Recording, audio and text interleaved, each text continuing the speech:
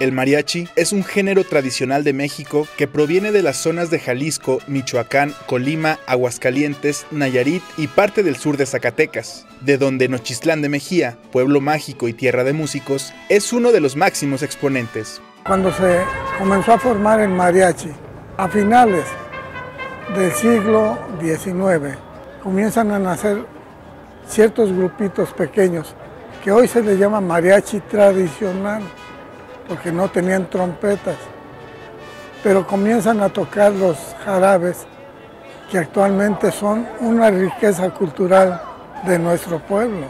Fue en la década de los 30 que a partir de la sugerencia de un productor musical de la Ciudad de México, se añadió la trompeta y el uniforme de charro, dándole la identidad que hasta la fecha acompaña al mariachi. Pese a que no se conoce con certeza su origen, el cronista de Nochistlán, Enrique Reyes, asegura que este género musical nació de manera simultánea en toda la región. Ese tipo de música nació al mismo tiempo en diferentes partes. Aquí al ladito está un pueblo de Jalisco, se llama Teocartiche, que también presumen ellos, con justa razón, de que es pueblo, pueblo en donde nace el mariachi. Pero si vamos a los límites de Michoacán y Jalisco, también dicen lo mismo.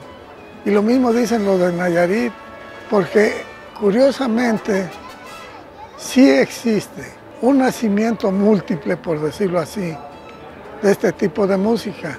El estilo característico del mariachi nochistlense es la alegría y la sincronía entre la música y su gente, ya que a decir del maestro e investigador de este género, Nicolás Puente, el músico no es solo el que toca el instrumento. El estilo de Nochistlán es único, es mucho más alegre y eso tiene un porqué. Son los fraseos, es la forma de pensar, es el contexto, es todo el contexto que nos rodea.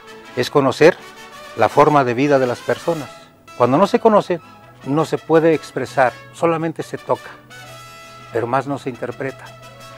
Un músico de banqueta no puede sentir lo que sentimos nosotros en el campo, saber lo que es agarrar una yegua, un toro.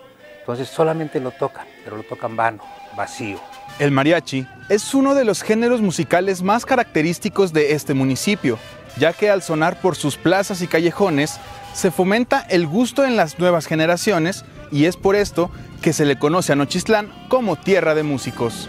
Los niños crecen con esa, mm, con esa influencia de ver al papá o de ver al tío o al primo esté haciendo eso, entonces yo creo que nos empezamos a interesar por eso. Eso ya viene de, de, abolengo, por así decirlo, ¿no?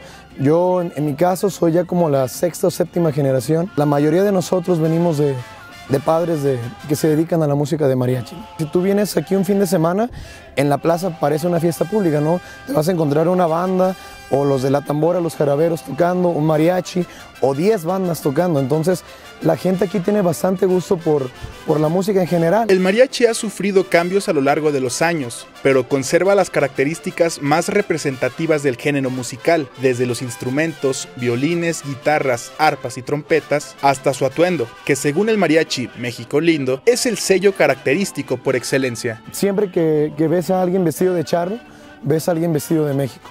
Creo que es el, el símbolo del mariachi que más representa a al género, a la música y a nuestro país en general, ¿no? Donde en cualquier parte del mundo donde veas a una persona vestida de mariachi o de charro, ahí está México. Los nochistlenses se caracterizan por su alegría y gusto por la música, que no se limita al mariachi, pues en la plaza principal de este pueblo mágico se puede disfrutar también de banda, norteño, baladistas y tríos.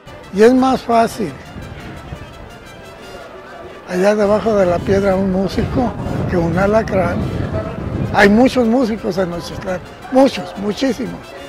Y, nos gusta mucho porque nos da alegría. Diario estamos contentos.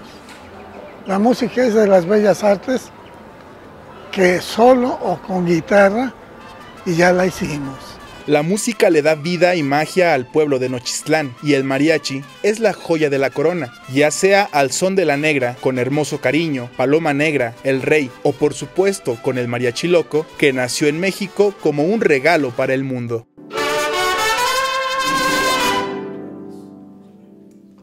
Para Sistema Informativo CISART, Jorge Torres.